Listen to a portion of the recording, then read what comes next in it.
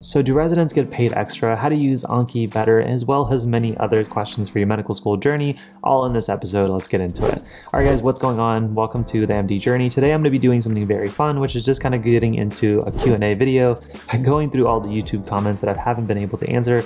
Apologies for that. I've been on an IC rotation recently, but I do want to make sure that I've been interactive with you guys and just kind of answering some of the questions that you guys have. So I'm going to be able to pull up some of the comments that I haven't responded to yet. And hopefully if you have that comment or if you have that question, as this will be a little helpful. And as always, I definitely recommend you guys drop your comments even to this video um, or to this episode. You know, I definitely read and look at every comment, even if I'm not able to get to them immediately, I do try to answer them at some point. So definitely drop down any burning and non-burning questions that you may have down below. That includes things from med school, residencies, studying, pre-med, you name it. But let's get into the questions. Today we have Amir who's talking about do residents get paid extra for 24 hour call nights and shifts? Now this is a video that will be coming out pretty shortly. I'll talk about kind of like what it's like as different things as a physician. Um, and one of the things that I definitely will make a video about is what it's like working an overnight call. Uh, one of the things I do as a second year resident I actually work 28 hours straight um, on some shifts in the ICU and the wards um, as a medical professional. Um, and unfortunately, no, I don't get paid extra uh, for these 24 hour calls. At least my institution doesn't uh, pay us. is just kind of something that's included in our salary and is expected as a job description. Um, but that would be nice. You know, maybe it wouldn't be so bad of working pretty much a full day and a half uh, with often no sleep at all. So next question is from Avid, who is always interacting in my YouTube channel. So Avid, thank you so much for your support. Um, basically, the question is he is doing science questions or science courses, and from his lecture slides, he's creating about 120 oh, slides, and he's trying to use the screenshot Anki method. If you guys don't know what that is, you guys can check that down below. Um, he's referring to some of the things that uh, I've been teaching in the Level Up Your Studying course as well, which I'll also link down below. Uh, but basically um, has 120 slides and he's asking is that too much specifically what would you advise to use Anki early in the morning, before lecture, or during the evening. Now, if you have any classes, um, this question applies to basically anyone that says, is my material too much and how should I approach it? Um, often what I like to do is if I get some benefit from looking at the material quicker, um, earlier, then I do it. But I only do it in a set amount of time. So what I mean by that is if you have a lecture like Abid um, has here with 120 slides, um, it's really not time and kind of conducive to go through those 120 slides very systematically and then go to the lecture and hear it again, and then at some point have to review them. That's just too much time. So either I skim through them very early or create my skin, uh, screenshot Anki methods, uh, which again, you guys can check out down below. But I try to do it as quickly as possible. And sometimes I completely skip out on this pre-reading kind of uh, acquisition phase, and I just go to lecture I listen to it, and then I take my notes on the slides or on my flashcards, whichever I do.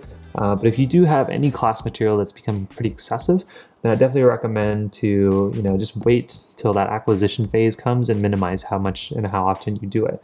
Um, so just try to do it once or twice, and that includes just going to lecture, looking at your slides and making your screenshots potentially a little bit before lecture and that way you can answer and add questions and things that the professor mentions um, as kind of your notes and hopefully that can save you some time while you're doing these really time intensive classes. So Ago Pessimist, cool name, um, says great video, uh, questions about Anki. I definitely see the appeal of taking in screenshots um, and turning them to Anki cards but for personally for me it's difficult at times to memorize everything in a slide.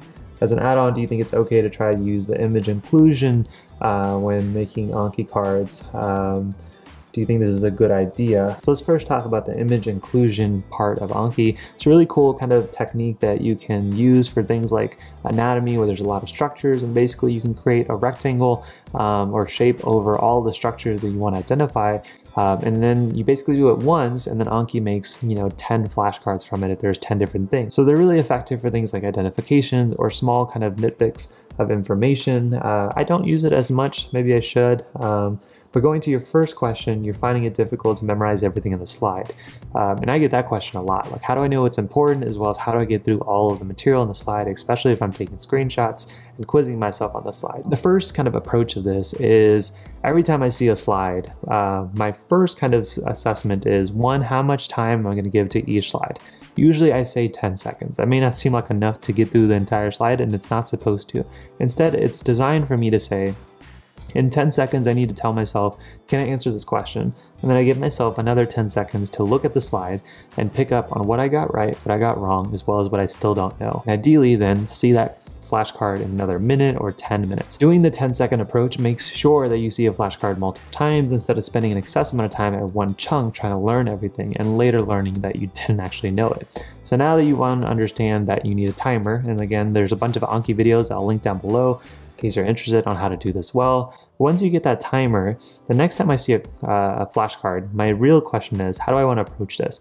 And basically, I want to ask myself, the next time I see this flashcard, what are the main things that I want to learn and try to memorize by the next time I see it? So if there is a flashcard, for example, that has three major bullet points and then mini bullet points underneath, underneath each of them, then I may just say, oh, you're gonna have to memorize all of the three major bullet points by the next time you see it.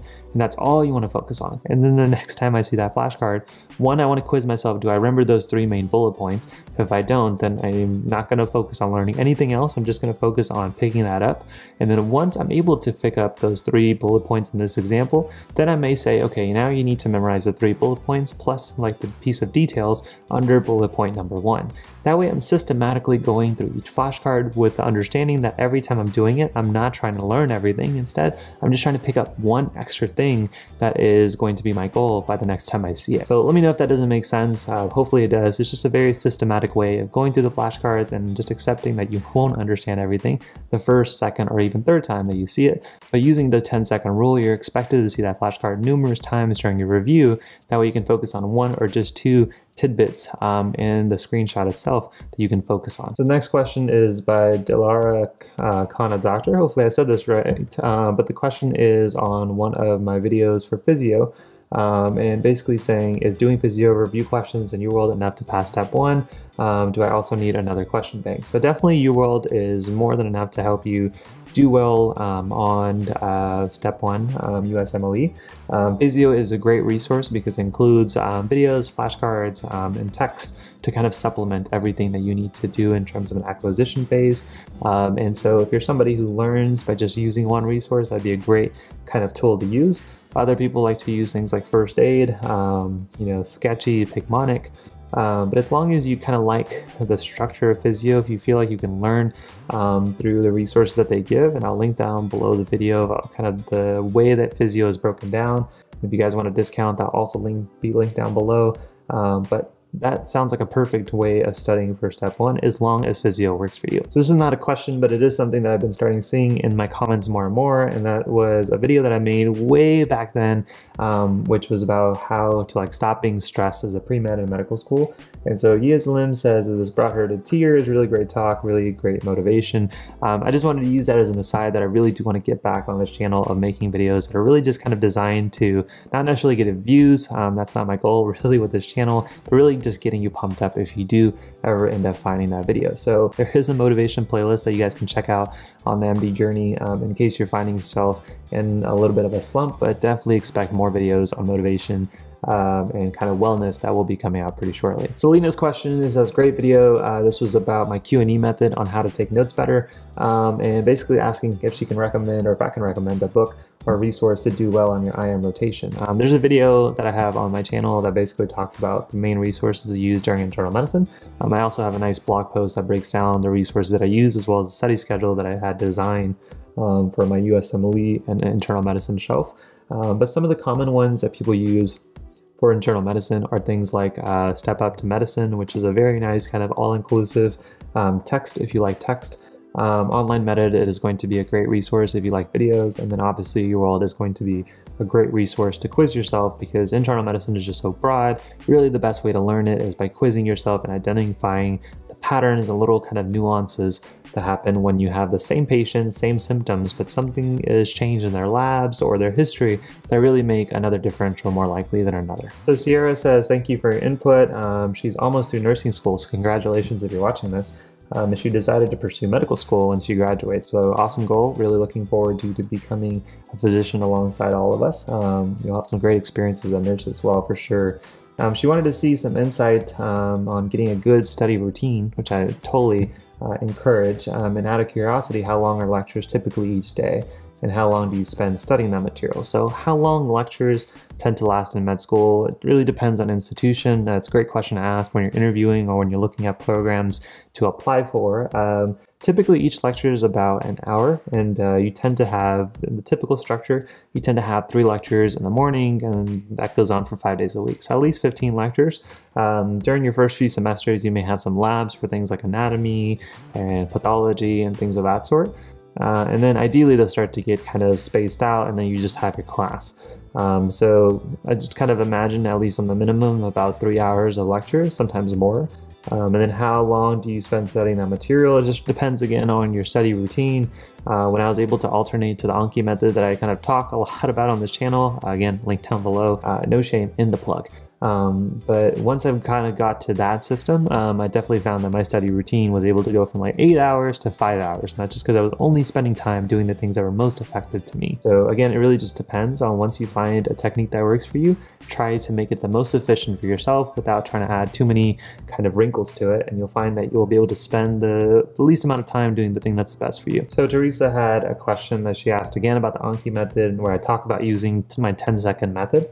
Um, and she says, How in the world am I able to do it? Uh, again, I kind of re reflect and refer back to the answer earlier, which is every time I'm answering the question or answering a flashcard, really I'm looking for one thing that I want to learn by the next time I see it, and then doing it each time. And ideally, if you just focus on one fact, um, or one or two facts on each flashcard, you'll be able to pick them up the next time it shows up, um, and then you can add the next systematic thing. Now, I over time really focus on how can I first focus on the most high yield things. So that's usually the things that have the biggest bullet points, um, and then focus on the small details, or how can I generalize the topic on the flashcards and then learn the details. Um, but I still give myself a 10 second to 20 second test on it, and then once I can do it, I move on and learn another or identify something next to learn. So that's kind of my approach. But again, 10 seconds doesn't have to be your approach. It can be 20 seconds or 30 seconds. Really, the trick of using Anki is don't spend an excessive amount of time per each flashcard. Give yourself a timer, move on, and then be okay with reviewing it because that's really where the learning happens. So Yassine asks, can I tell her the net worth of a radiologist at age 40 and how much net worth he gathers every year? I personally don't like answering questions about like net worth and money of different physicians. I just, one, it's not something that I really focus on very much. I'm sure it can vary for a lot of reasons, including how much debt you're in, you know, what training you do to get to the age of 40. Typically, you imagine that a physician is as an actual doctor by the age of like 30 to 32, depending on what you do, even longer for some of my surgeon friends. Um, and then if you're making about 200,000, 250,000 or 300,000, again, so much variability where you live. Um, so net worth is hard to tell. Again, net worth is not only how much money you make, how much money you have and assets you have. So if you spend all of your 200,000 or 400,000 salary, your net worth is zero at the age of 40. Um, and if you save it all, then it could be higher than somebody who makes a million dollars a year. So um, keep that in mind. So unfortunately, can't tell you. So Medea Bath asked a great question. She says she's a fourth year medical student. Basically, she's noticing that she's starting to get a little bit kind of overwhelmed and intimidated because it seems like everyone else is more focused than her. Um, and she doesn't know where to start. Should she focus on learning new material or go back to the old things that she felt like she was lacking in? Um, some memory issues she says she has um, and just kind of lacking in confidence. And honestly, this is something we can all relate to when we notice a classmate or a peer who just seems like they are on top of something, and then it just kind of kind of lights a fire under us, but also causes some anxiety. Should we learn new things? Should we focus on old things? My advice here would definitely be one, making sure you have a good kind of review process for all the new things you're about to learn uh, without over stressing yourself on. So if you're doing a cardiology block, instead of saying, oh crap, like I need to learn all my old cardiology, which you definitely do, um, the first kind of step is how can I make sure that all the new cardiology I learn sticks with me? And that goes with all rotations, all the topics that you learn. Um, and in terms of reviewing the old things, maybe just have a very kind of casual way of reviewing the old material. So if you're doing practice questions or if you're um, kind of have a list of topics, which is I personally love to do, uh, clinical kind of topics that I just don't feel comfortable with anymore. And I try to do one every few days or once a week. Um, again, there's no time frame. I'm just kind of looking to check that box of saying, okay, today I understand um, the coagulation cascade, which I haven't reviewed since med school a little bit better, or I understand antibiotic choices a little bit better. So just remember that while everyone may seem like they're ahead, people can do a very good job about faking confidence, but to truly raise your confidence, you just want to one, have an approach of doing better in the future. So tinkering with your study system, but also having a very low stress way of checking out the old boxes of things that you just want to get better at and just casually and gradually getting through it. And eventually, if you're able to be consistent of doing this, you'll find that other people will be looking at you as the overconfident and person that they inspire to be. So use this as a motivation, not a discouragement, and just kind of tinker with your setting system you'll be there in no time. And then finally, a question from Apelia247, what needs to change to make medical school and residency less stressful? Uh, man, I could make a total video about things that I would want different, especially in a medical school training. Uh, one, I don't think medical school should be four years the way it is here in the United States. I honestly don't think those four years made me four years better or closer to a great doctor. In fact, I felt like they made me initially like a good test taker and then they forced me to say, oh, why don't you understand all your clinical knowledge by now? Um, and that made no sense. If anything, I would um, put medical students into clinical rotations and in a clinical setting um, as quickly as possible. And maybe you could just have one medical student who's designed to follow one patient uh, for a whole week, um, while the rest of the residents and other medical students are really taking care of more patients. You start to just learn the lingo and the nuances of medicine much quicker than you would probably sitting in a chair listening to a lecturer tell you about the genetic variants of things like cystic fibrosis. The best way to learn about that is actually taking care of somebody with the disease itself. Um, so that would definitely make it less stressful of just being uncomfortable by the very start. And the quicker you can be uncomfortable in medicine, the quicker you develop confidence. And same thing for residency. I think um, residencies can really differ depending on the specialty and the program. Um, but if your residency isn't focused on resident wellness, that includes, you know, uh, being thoughtful for vacations, things for how much time you work consistently, um, avoiding getting close to that work hour restriction that we now have in the US, or no, obviously not going over it. Um, those are all the things that I would definitely want. But that medical school one, um, I think you can make medical school a lot less stressful. It definitely helps that step one is pass fail for the US kind of graduates. It definitely makes it more stressful for the international graduates. Um, but that's a whole nother video aside. And was uh, MMD just says, we support you. Please continue. Hearts to you, bud. But with that being said, guys, that will conclude this Q&A video. Hopefully you guys have found uh, it kind of entertaining.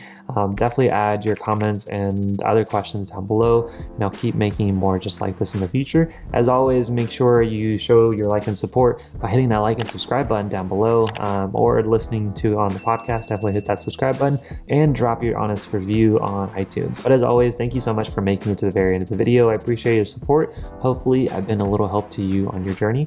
Thank you as always for being a part of mine. I'll see you guys in the next one. Peace.